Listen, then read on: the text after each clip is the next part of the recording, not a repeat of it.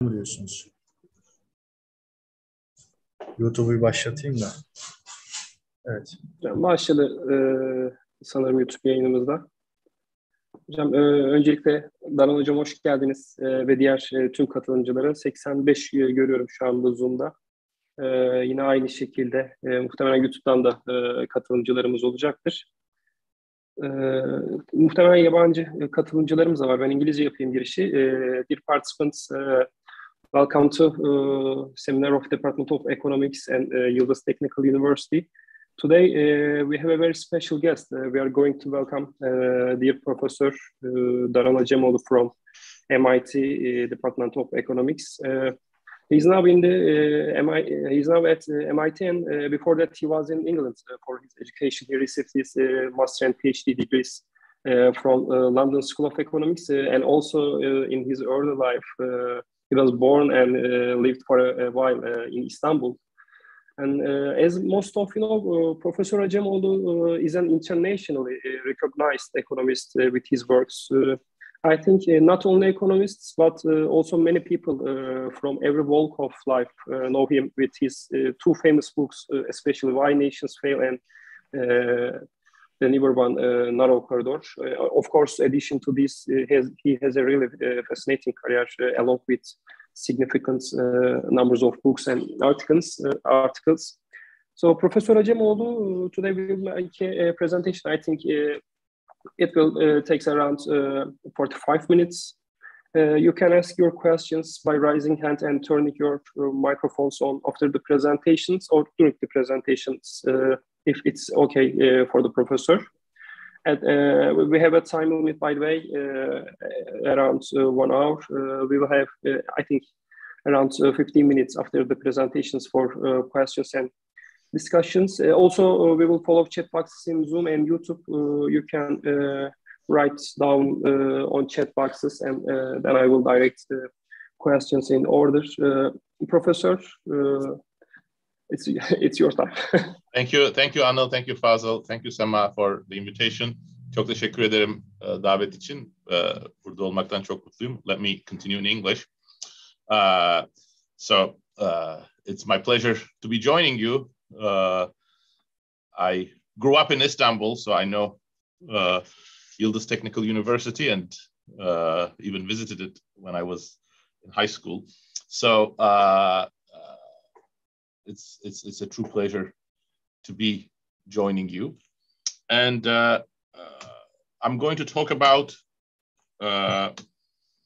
some new work that builds on a series of papers and new approaches that I have been developing with Pasquale Restrepo on the effects of new technologies on productivity and inequality. So this paper is entitled Tasks Automation and the Rise in US Wage Inequality. And I think the reason why it might be a good sort of uh, uh, uh, topic for us to discuss today, it will give me an opportunity to summarize some of the main ideas, new ideas that may not be familiar to most of the participants, and also build on some new empirical and theoretical results. The motivation for this work comes from the phenomenal changes in the US wage structure, which are summarized here for 10 demographic groups, men and women, and five education groups, all the way from those without a high school degree to those with a postgraduate degree, such as master's, PhD, or uh, uh, medical degree and so on. These groups all uh, had above 2% real wage growth, fairly shared prosperity during the 1950s, 60s, and in the 70s. But since then, you see a huge increase in inequality. But more strikingly, you also see the real wages of many low and middle education groups, including those workers in gray who have some college, two years of college or associate degrees, both among men and women, actually decline quite significantly. This has been one of the motivators for a large literature on wage, wage and labor market inequality. A lot of that literature, and some of the, some of which I have also contributed to in the past, either takes the standard skill bias technological change view which is that new technologies take the form of increases in AH that are complementary to skilled workers' age, and that as a result increases inequality. Or capital skill complementarity, meaning that there is capital deepening, more equipment is introduced, but that equipment is not equally substitutable to low and high skilled worker. As a result, high skills workers, more complementary uh, labor is augmented more and inequality increases. These two technological perspectives have some interesting implications and some, of course, explanatory power. But one thing they imply is that inequality may increase, but wages of low your low skilled workers wouldn't decline because you know technology is complementing all sorts of workers at the end of the day. Labor market institutions have been changing, and trade has had an impact on inequality as well. But none of this really accounts for this very striking declines in the real wages while productivity is increasing. Uh, and, and that is where I think a new perspective is necessary. And that's what, you know, Pasquale and I and some of my other work has been, have been trying to build over the last 15 years or so. And at the center of this is what we call automation technologies, technologies that take tasks previously performed by labor and allocate it to capital. Since time is short, let me give you, and I'm going to spend quite a bit of time on the theoretical framework because I think without the theoretical framework is where some of the novelty is. So it's a very different way of thinking about production that might be useful for other people to use. But also you need the theoretical framework to appreciate the empirical work. So let me jump right to the bottom line and show one part of the empirical work already. And this is a summary of where I'm going to build up to. Each one of these dots corresponds to one of 500 demographic groups defined by age, gender, uh, education, and ethnicity. And on the vertical axis, we have change in hourly wages from 1980 to 2016. On the horizontal axis is what we call the task displacement. Essentially, how many or what fraction of the tasks that this demographic group used to perform in 1980 have been automated. And you see a striking relationship. Essentially, 70% of all of the changes in the US wage structure can be explained by whose tasks have been automated. And critically, as you can see, both the prediction and the actuality is that many groups had quite a large fraction of their tasks automated, more than 20%. And when that happens, you actually don't get the benefits that are implied by the standard theory, but in fact decline in your real wages. And this is what we're going to try to sort of understand. So I'll uh, talk about the theory. Let me not summarize it since time is short, and I'll, uh, I'll, I'll, I'll go through it step by step. But the key here is how task displacement happens, and that's very different from the ways in which the uh, the, the, the, the, profession has typically thought of about the effects of technology. So that will require us to develop a flexible but general alternative theory of production. And then I'm also going to show you a lot of empirical results showing that uh, that pattern I depicted in the figure is quite robust. But there also are interesting issues about general equilibrium here.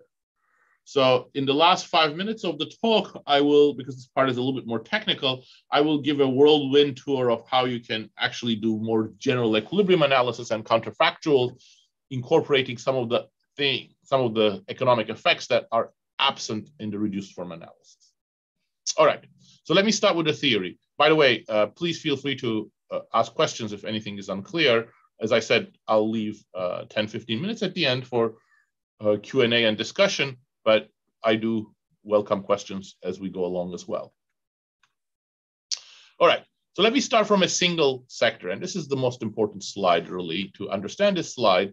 And, and then uh, the rest of the theory is you know, implications of this slide and generalizations. But output in a single sector, for now just uh, only one sector in the economy, is produced by combining a set of tasks. Tau or T here is the set of tasks. And all of the tasks in this set are combined with a constant elasticity of substitution lambda. So the dx is the integration over the set, and yx is the task services.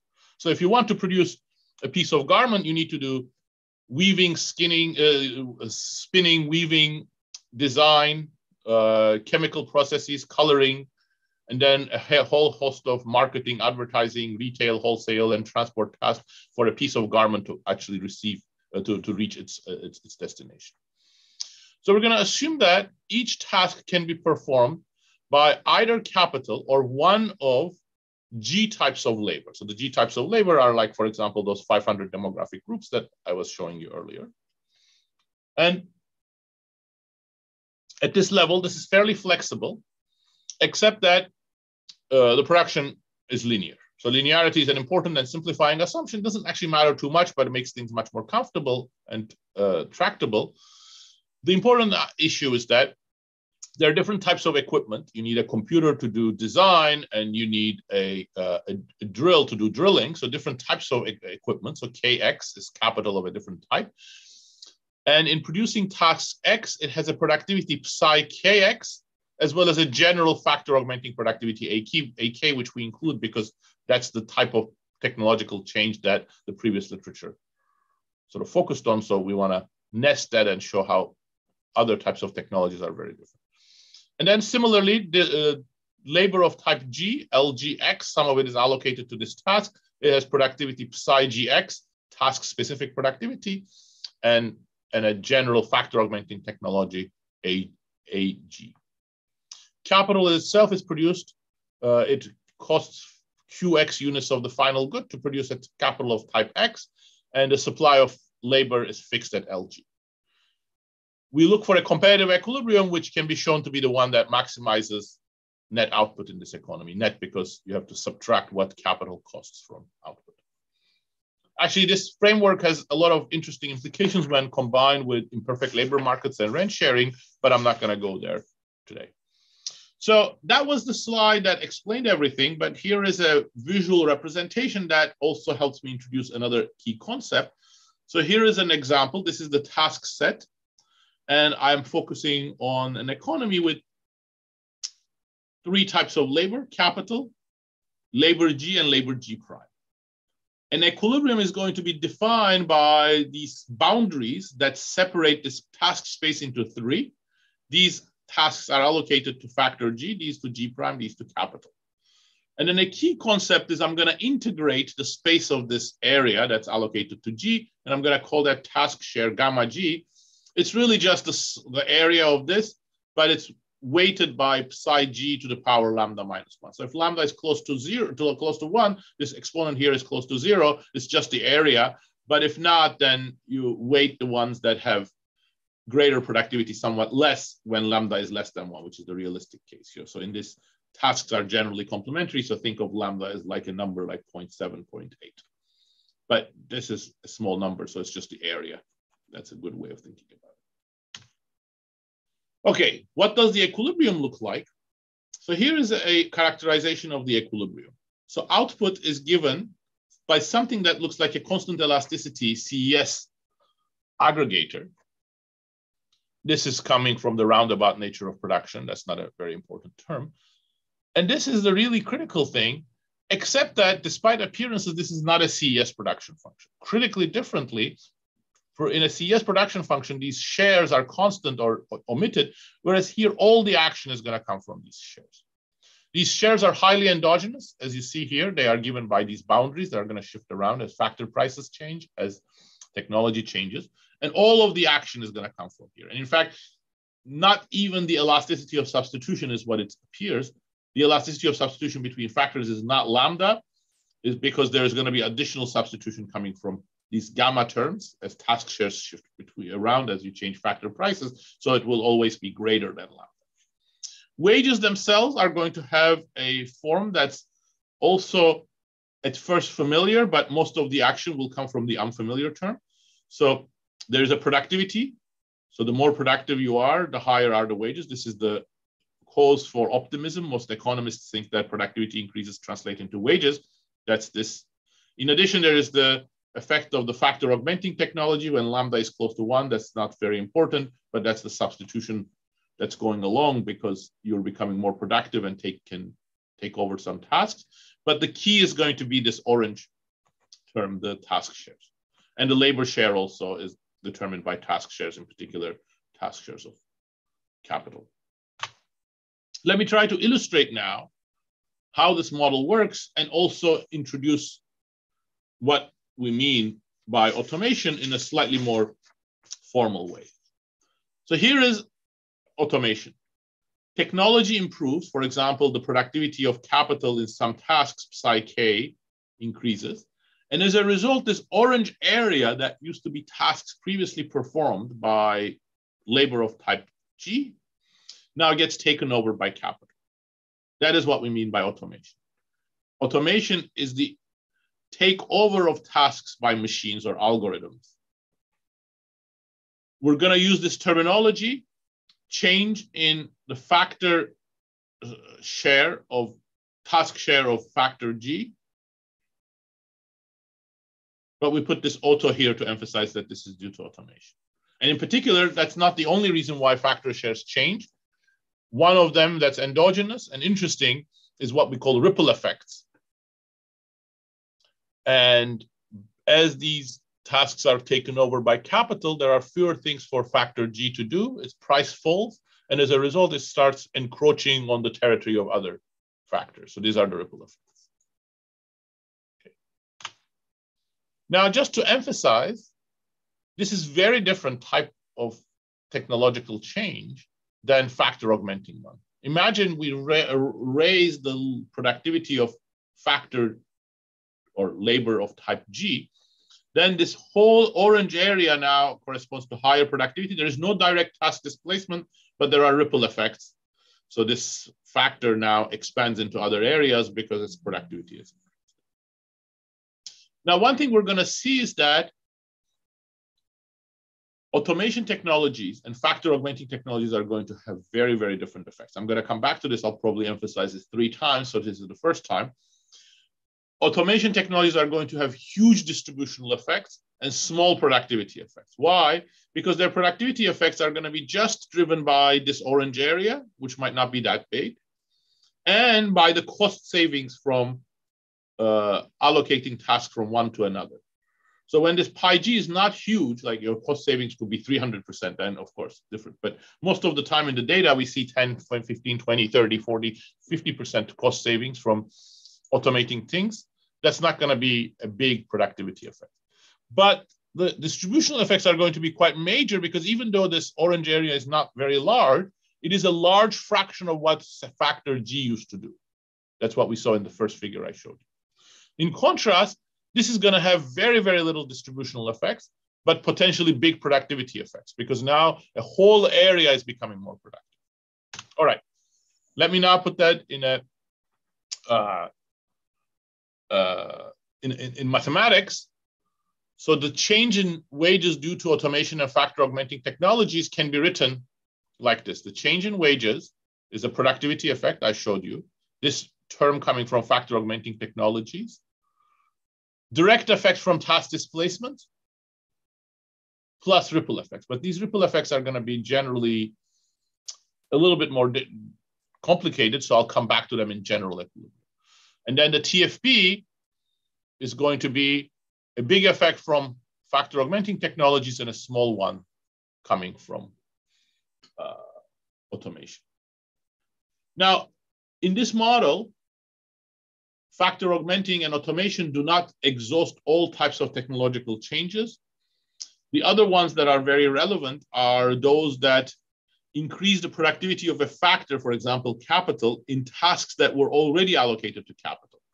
What can be shown, and we do in the paper, but I'm not going to go through it, is that those are, in, in essence, equivalent to factor augmenting tech changes. So in some sense, this equation, although it's not in full generality, captures all of the main economic effects. now, this is a single sector economy, but in the data, of course, we have multiple sectors. So in that spirit, we generalize this to multiple sectors. It is not very difficult. Every sector now has its own task share, potentially different productivities. And also there's some substitution and price effects across sectors, which we capture with a demand system. Here I took it to be homothetic and expressed it in terms of expenditure shares as a function of the vector of prices. Everything else is the same. And uh, and then you can characterize the equilibrium. There's some new effects that come between sector movements, but let me not dwell on them other than just emphasize it in the context of the key estimating equation that we derive from this multi-sector economy. So it is this equation, and this is the one that I'm going to estimate in a second. So the first term is a productivity effect. We saw that already. That doesn't change. The second is uh, factor augmenting changes and what we call factor uh, productivity deepening changes. Those are the ones where the productivity of a factor increases in tasks that it was already performing. In the data, this is going to be captured by linear trends by education, gender, or other characteristics you can put them in.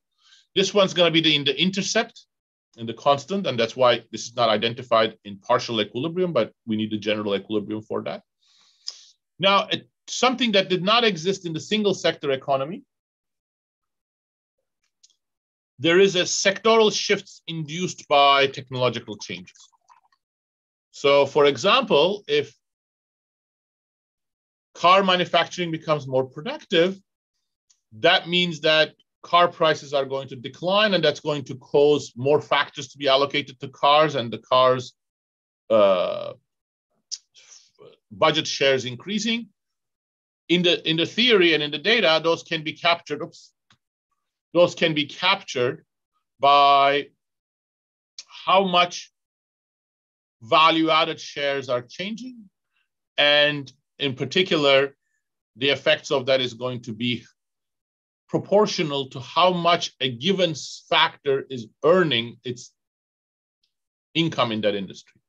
So, for example, if as a result of improvements in manufacturing, the healthcare industry expands because of a Baumol effect, healthcare is complementary, people want to consume more healthcare, that's going to benefit the factor that specializes in healthcare, for example, postgraduate workers or nurses. So that's all captured by this term, and this we're going to directly observe in the data. So this is going to be on the right-hand side of our regression. And then finally, direct task displacement, except that in the single sector that was just given by this change in log gamma but now we have multiple sectors, so we have to aggregate it across sectors. And then the theory tells us that that has to be on the basis of what's going on in each sector and each factor's share in the tasks that are being automated. Okay. So in addition, I'm going to make two more assumptions in order to estimate this model now. One is that, as I said, there are going to be no ripple effects, which means a one-to-one -one mapping between tasks and factors. Ripple effects arise, say, for example, if uh, both Anil and I can perform the same task from two different demographic groups, and, and then I become cheaper, and then I take away that, that task from Anil. That's not going to happen here because we're assuming that either Anil or Fazil or me can perform this task. We're, I'm going to relax this assumption in a second, in, in 15, 20 minutes, but we're going to start from there. And then the second one is that we're going to identify the tasks that can be automated by routine tasks. That's just one possible way of doing it. In the paper, we do a variety of different ways of doing it. They're all similar, they capture similar tasks. Uh, but let me focus with this one. And then we also assume that all groups performing these routine tasks are going to be displaced at the same rate. Under these assumptions, we can show that the direct displacement can be measured as the change in labor share of a sector due to automation. So we have to estimate how much the labor share of a sector is changing and how much of it is due to automation. And then the revealed comparative advantage in routine jobs in industry I of the demographic group G. And this is simply again from theory given by the wage bill share of group G in the routine tasks in industry I. And again, everything weighted up by how important is this industry for the group in question?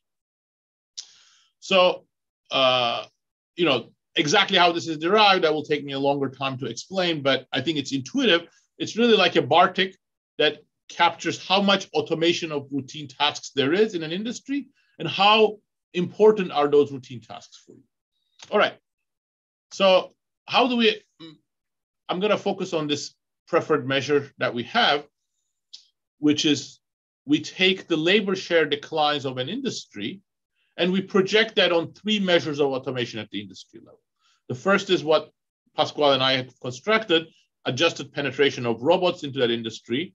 So especially because of the frontier differences, changes in industry uh, technology in robotics, some uh, industries have been very much impacted by robotics technology. So we capture that with this penetration of robots measure. Change in specialized software, that is very important for many non-manufacturing industries, and changes in dedicated machinery services.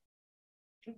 So it's like an IV, but I won't do it more, I will do it like it's more like a reduced form for transparency. All right, so without further ado, let me just say a few things. I said as already 500 demographic groups, education, gender, experience, race, and place of birth. Everything is on the baseline is from the 1980 census. Data on hourly wages from the 1980 census and from the American Community Survey. So although I refer to 2016, that's actually the average of 2015, 2016, and 2017 to get enough sample size for these 500 demographic groups, some of which are quite small. Uh, industry labor share for 49 industries from the Bureau of Economic Analysis. As I said, we have this robot penetration measure, and then we also define routine jobs using the ONET data set, as in my work with David Autor. About a third of jobs are routine. All right, so let me show you a couple of figures to give you a sense of the data and what's going on, and then I'll show you the regressions, the robustness, say a few words about uh, the GE, and then I conclude. So here are the 49 industries. In blue, you have the change in the labor share. You see that many industries have experienced declines in labor share. which is a telltale sign of automation. They're led by mining, transport, chemical, pharmaceutical, auto, etc.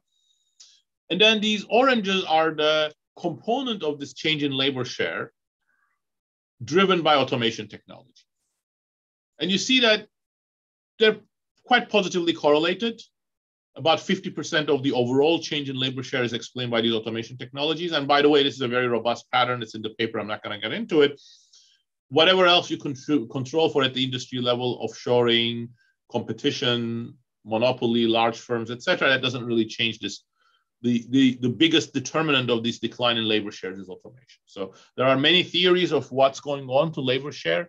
But as a side product here, what I'm also showing is that you know automation is in fact probably the most important determinant of the declines in labor share. And here is a different way of seeing that. Uh, this is with robotics, change in labor share. You see motor vehicles, chemicals, plastics, metals are driving a lot of this decline in labor share. But robotics is not adopted in non-manufacturing. So this is a nice picture, but it doesn't capture the full variation in the automation of routine jobs. A lot of it happens in clerical jobs in offices. And here you see that with our specialized services, software services. So now restaurants, professional services, uh, computer services, and so on are also experiencing a lot of automation of office work. Interestingly, not all manufacturing is. Apparel remains completely non-automated, for example. And this is the overall measure combining all of them same, very similar to the other two. Let me skip this. Here is a summary of the empirical work. So now you notice what this task displacement measure is. These two panels are differentiated only by the fact that here I use the entire labor share decline and here I use the automation driven labor share decline. As you can see, that doesn't make much of a difference. And these patterns are very robust as I'm gonna show you in a second. But one other thing to build confidence, now I have exactly the same horizontal axis, but now on the vertical axis, I put the change in the hourly wages from 1950 to 1980, the previous 30 years.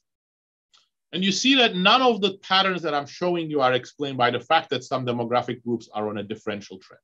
In fact, that's perhaps not so surprising. It's surprising to some people, but perhaps it's not so surprising because in the first figure I showed you that many demographic groups were experiencing a similar increase in real wages. So this is the projection of that into the 500 more detailed demographic groups.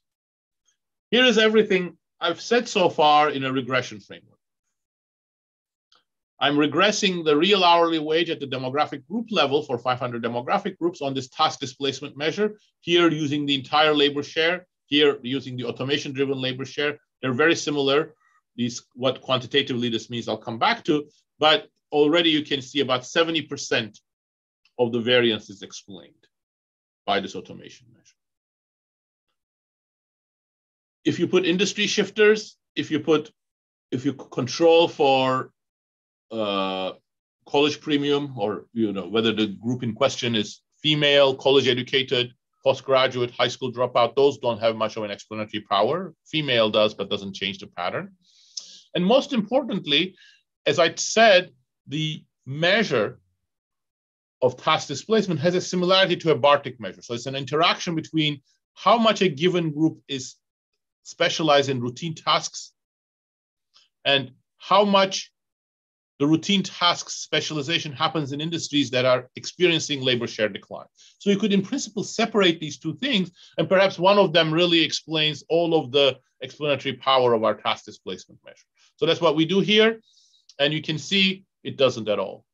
In fact, the main effects, so to speak, they're not exactly main effects, but they're like main effects. Exposure to industry share by share declines and relative specialization in routine jobs themselves are not significant. And it's really their interaction. If you work in routine jobs, that's not bad news for you. If you are specialized in industries that have experienced large labor share declines, like automotive, that's not bad news for you. But it's really bad news if you are specialized in like blue collar tasks like assembly or welding in those jobs. That's exactly the theoretical prediction, and that's exactly what happens in the data.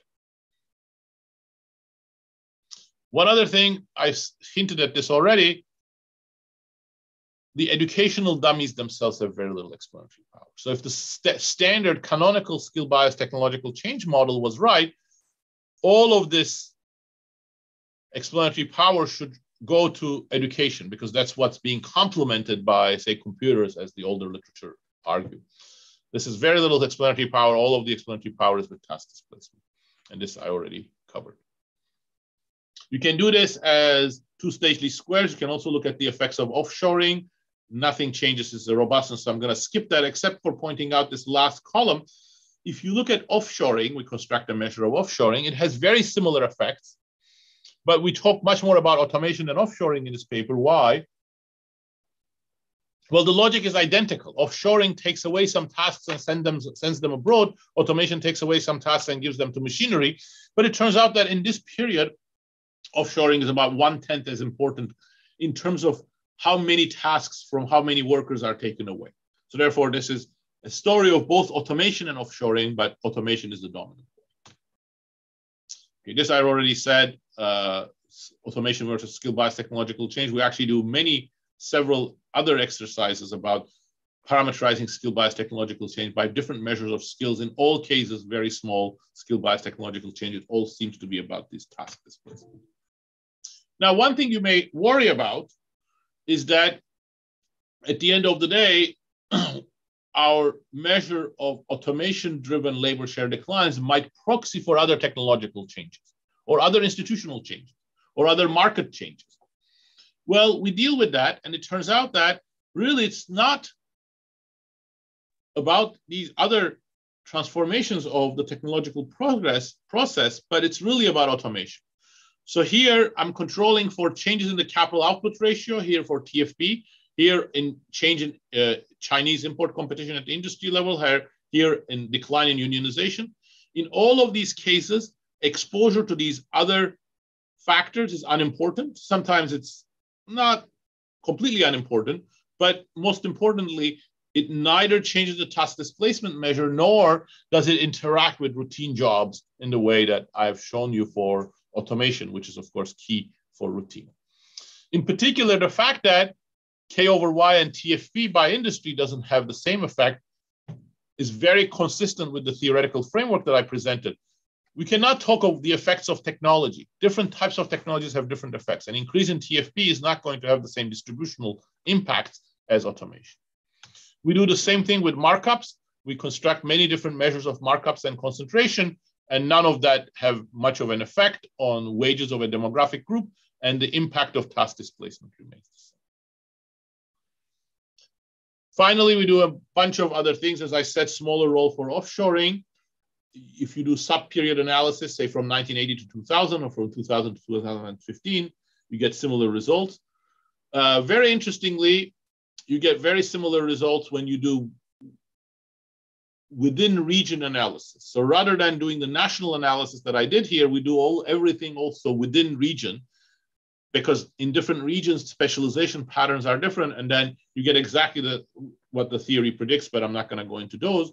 And then we also use alternative measures of occupations that can be automated, not routine, but depending on, for example, the patent text of which specific functions patents mention, and we identify those as the ones that are going to be automated, and that gives very similar results. So in five minutes, I want to explain now what this analysis misses and how you deal with it, but I'm not going to go into the details. So at a high level, this is a characterization of the multi-sector equilibrium. You have the wages. Again, this is the productivity effect. This is the factor share. This is where all the between industry reallocation, Baumol effects and displacement and the ripple effects are. And prices are determined endogenously and factor shares are determined endogenously. If you wanted to solve this model, it's a very complicated fixed point problem. Why? Because you have to find the boundaries for, for 500 groups across 49 industries. Everything depends on everything else. Why? Wages of a given factor is going to depend which specific tasks in a given industry are allocated to that factor. And that wages are going to affect other people's wages and so on and so forth. So doing the solving this model explicitly for sort of uh, calibration type analysis to do general equilibrium will be very difficult. But we actually develop an alternative uh, methodology, which also may be useful. Again, I'm going to remain a little bit high level here to give you a sense, and those who are interested can read the details in the paper. Essentially, what we do is that we note that if you have any shock to group G, for example, technological shock, but it could be any other shock, its effect can be decomposed into two parts. There's a direct impact, like the one that I focused on in the context of automation, and there's an indirect effect. That's where the ripple effects come in, which come from the fact that this shock changes the vector of wages, and the vector of wages changes the whole set of task allocations. But the driver is the change in log wages. But then if you rearrange this and write it in matrix notation, you'll see that this looks like a Leontief matrix that first appeared, for example, in the input-output analysis. The vector of log wages is a matrix multiplied by the vector of shocks. And then this matrix, which we call the propagation matrix, has elements that are related to the elasticities of substitution or other me measures of substitution across factors. The nice thing about this matrix is we show that it can actually be directly estimated because theoretically it has a, it is a high dimensional matrix but it it has a lot of restrictions, symmetry and other restriction. So it does not have as many parameters as might first meet the eye, and it can be directly estimated. And once you have that matrix, you can compute the full general equilibrium, including the productivity effects that were in the intercept, as I pointed out. So let me not do that, uh, the details of that, but this is the equation that says instead of this wage on the left-hand side and your own things, so now you have these ripple effects coming in through this propagation matrix. So we do a particular parameterization of this, we estimate them. And let me just conclude with this slide, which gives you what comes out of it and, and sort of rounds up the full discussion. And then one more slide and then I conclude and then we can take discussions. So what this does is that now shows the quantitative decomposition of the effects of automation now. I'm just focusing on automation, but taking into account the full general equilibrium. The first impact of automation is productivity. Is we're in a competitive equilibrium, so automation will already be only be adopted when it increases productivity. And the productivity effect is, as you might have expected, fairly uniform across sectors. So if nothing else happened, wages for all or 500 demographic groups would have increased by about 50% over this time period, 40 log points, 50%. Now, on top of it, there are Baumol type effects, industry shifts. That favors some groups, turns out to favor high education groups because they are the ones they work in like education, management, consulting, etc., that get an indirect boost through the reallocation of consumer budget, but it's not big. You know, all groups are around again, huddled around 50%. Here, we add the direct task displacement effect. Now, as a result of direct task displacement effect, you have this hugely negative thing, especially for high school dropouts and high school graduates, especially for men. And this is the really new interesting part. And the final panel adds the ripple effects. Those are the one that work through this propagation matrix, gamma is a theta G matrix or theta G row of that matrix. And you see that the ripple effects are in some sense democratizing. They help groups that were directly affected. Why? They go and take tasks away from other groups. But as a result, they actually pull many more groups towards zero or very low wage growth. In particular, for example, women are not as much affected because a lot of the blue collar jobs that were automated did not employ that many women. But because of the ripple effects, women, especially low and middle education women, are pulled down as well. Summary when you take the general equilibrium effects, about 50% of observed weight changes are explained. The direct one was a little bit higher, 60% or so, but the ripple effects, etc., it goes down to 50. It explains 80% of the rise in college premium. So the college premium, which most people thought was about skill bias, technological change, or etc., almost all of it is due to automation. And it's not because college workers are complemented by machines, it's because high school workers are hurt by machines. It explains 80% of real wage declines. And this is what I was emphasizing earlier, and I'll, the last time I emphasized. All of this, very little TFP gains from automation. Only 4% TFP gains from automation. There is a significant increase in TFP during this time period in the US economy, but it's caused by other technologies that don't have the same distributional effect. So this has major implications for the political economy of distribution and technology, but I'm not going to get into those. We might touch upon some of them in Q&A. All right, that's it. So this is a new theoretical framework building on some of the work that I've done. And as you can see, it has both different theoretical implications, but empirically it has a wide variety of new aspects that seem to be a very good fit to the transformative changes in the US labor market some people have now started applying this to other labor markets as well. And I think there's a lot more work to be done in developing this framework and empirically uh, exploring it further. I'll stop sharing and, uh, and I look forward to your questions and comments.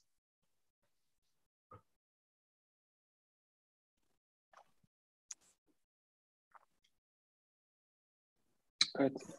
Hocam çok teşekkürler sunum için. Şimdi soruları bekliyoruz.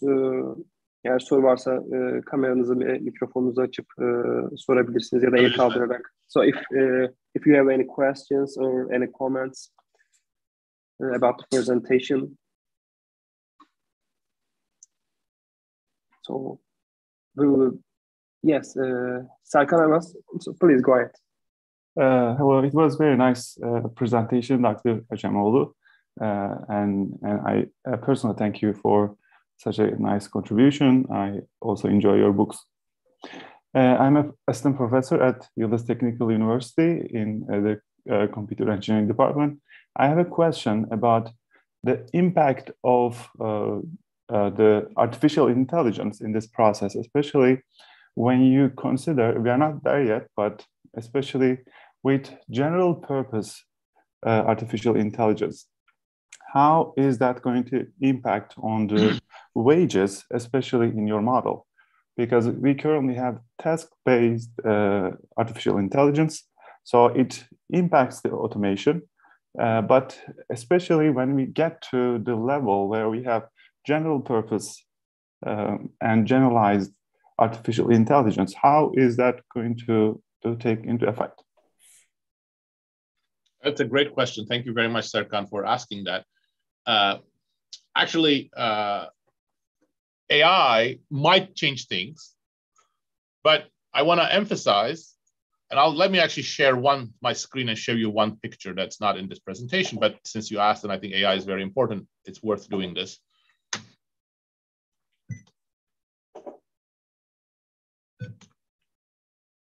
This is from another paper I have written with David Autor, Pascual Restrepo, and Joe Hazell, which uses online vacancy postings for specific skills to measure AI.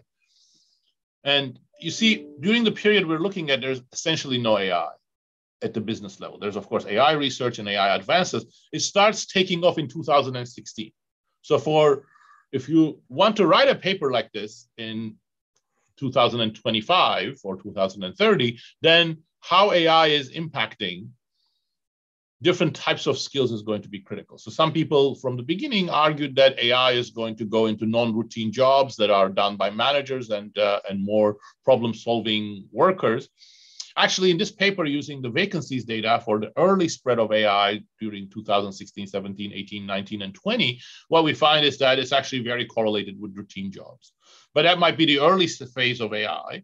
It's also very differently distributed across sectors than I would have expected. For example, you know, services are actually quite a slow taker of AI. It's really finance, manufacturing, professional, and business services that are, are taking up AI. Retail and wholesale are also behind, but I expect retail and wholesale, for example, might be transformed by AI perhaps into from 2030 onwards. We'll see.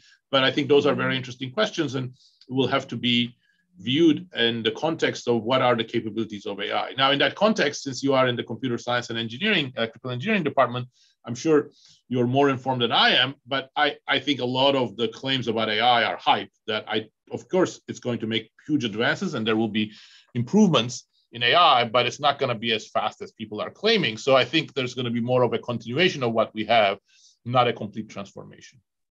Uh, thanks for answering that question. And I agree on the uh, the hype and the time prediction. I don't anticipate uh, it's happening in the next two decades. Uh, so general purpose AI is really gonna take a long time to make an impact. So we will have to wait for that, but I think we have to be prepared for that. Of course. Thank you, Serkan. Thank you.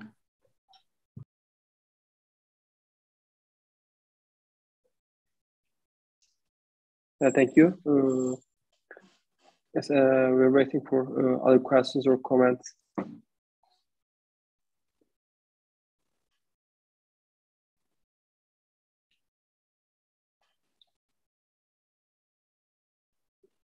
Metin, bu arada ben bir e, YouTube sayfamıza da bakayım. Orada da canlı yayında chatten bazen sorular gelebiliyor. Sema'nın bir sorusu var galiba. Öyle mi? E, Zoom ekranı kapatmışsın da. Sema hocam buyurun. Ee, benim bir sorum yok hocam. Darıl hocam çok teşekkürler. Ee, çok yoğun bir programımız olduğunu biliyorum. Ee, davetimizi kabul ettiğiniz için çok teşekkür ediyorum ben. Ben teşekkür ederim. Umarım en kısa zamanda sizi yüz yüze de burada ağırlarız. Çünkü imzalamak için kitap. burada hocam. Söz veriyorum tamam. Ee, saygılarımı iletiyorum hocam. Çok teşekkürler. Burak hocam siz dinliyoruz. Merhabalar. Ee, hocam e, şimdi evde çocuk var. Dolayısıyla bağırıp çağırmaya başlayabilir. Şimdiden özür diliyorum. ee, şeyle ilgili hocam, bu en son kitabınız Redesigning AI ile bağlantısını sormak istiyorum. Ee, yani kitabınızı okudum ve genel olarak e, hemfikir olmadığımı söylemek istiyorum. Ee, yani oradaki argümanınız e, teknolojik gelişmeleri kaçınılmaz olmadığı, Dolayısıyla bizim onları şekillendirebileceğimiz ve sosyal yapıyı da uygun şekilde ayarlarsak istediğimiz sonuçları üretecek teknolojileri elde edebileceğimiz. Evet, ee, kesinlikle aynen. Evet, bence bu doğru değil ama e, zaten vaktimiz yok bu tartışmaya. Bu makaleyle bağlantılı olarak bence oradaki sorunu da işaretlenen bir şey var. Şimdi robotlaşma ile ilgili şeyi gösterdiğinizde, süreci gösterdiğinizde orada gözüküyor ki robotlaşmanın nereye gideceği işlerin tanımından belirleniyor. Mesela dişçi robot veya saç kesen robot diye bir şey çok zor veya imkansız. Değil mi? Ee, ama kasiyer robot daha mümkün. Dolayısıyla mümkün olduğu zaman da gerçekleşiyor gerçekten. Ee, ondan sonra da işte kasiyerlerin, efendim e, fabrikada çalışan insanların falan hayatları değişirken buna bağlı olarak da siz de zaten detaylı olarak anlatıyorsunuz. Ücretlerin yapısının nasıl değiştiği, sosyal yapıya olan etkileri malum. Hmm, dolayısıyla süreç kaçınılmaz bir şekilde hani hmm, elimizdeki işlerin teknik doğası tarafından belirlenmiyor mu? Yani dediğim gibi işte dişçi için yapamazsınız bunu. E, saç kesen için yapamazsınız ama kasiyer için yapabilirsiniz. Onlar da oluyorlar ve sonuçta da toplum değişiyor buna göre. E, çünkü hemen iki kitabınızla buradaki şeyi bağladığım zaman hemen aklıma o geldi. Sormak istedim. Teşekkürler. Teşekkürler, çok teşekkürler. Ee, sağ olun. Ee, daha detaylı olarak konuşmak isterim tabii. Uh, but let me answer in English. So you are absolutely right that certain tasks are easier to automate. Moreover, and I guess this is not emphasized in the current paper, but stressed in that uh, manuscript, automation has always been with us. It's not like we have a choice in automation. The choice comes in in what else we do. So if you look at periods during which productivity growth went hand in hand with labor demand growth, including, for example, in the first few decades of the 20th century, when there was rapid automation both in factories and agriculture, or in the 50s and 60s. What's critical is that there were many new tasks and many technologies that improved human productivity in certain different parts of the production process going on at the same time as the uh, automation that, as you point out, was partly inevitable. So, for instance, in the 1900s in the US, you have the emergence of mass production in uh, chemical factories, mills, electric factories, but especially in the car and other household durable production.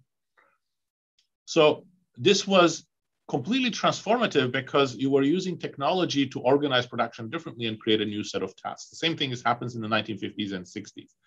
And the reason why that little manuscript, uh, which is sort of a, an edited book, but is with my article as the lead article, so I guess they put my name on it, uh, is focusing on redesigning AI is because of the argument that AI is very flexible. There are many different ways of developing AI, and some of those are going to be pure automation. And the redesigning is using AI for ways that are more useful for humans as well.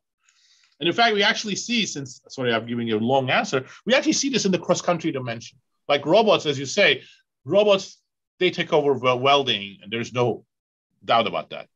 But in the US, when robots take over welding, welders are fired and there's no other new jobs created for welders. In Germany, you know, welding has been even more rapidly automated, but German companies, you know, haven't completely uh, avoided some of the negative effects of automation. Labor shares have declined, but they have reassigned many of the welders to other jobs that are more supervisory and technical. And in fact, the technical workforce has increased quite a bit more rapidly in German auto- automobile factories than in the US. So there are there are choices even in the context of robotics, but not exactly whether you're going to use robots. Once they are there, especially in things like welding, they're going to be profitable to use.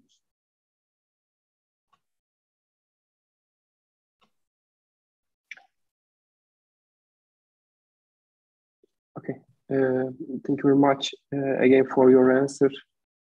So I think uh, we have a, very short time, uh, maybe we can take uh, one more question if you have, dear participants.